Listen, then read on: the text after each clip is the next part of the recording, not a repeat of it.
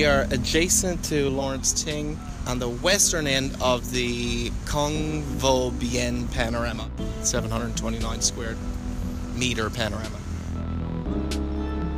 We are doing, as a concluding investigation for Unit 2 of our ESS class, a plant biodiversity investigation, which are requiring us to use quadrats and transects. We also want to figure out the relative abundance of the different types of species of plants in the western end of the park. We're going to do an, an insect population and species diversity investigation.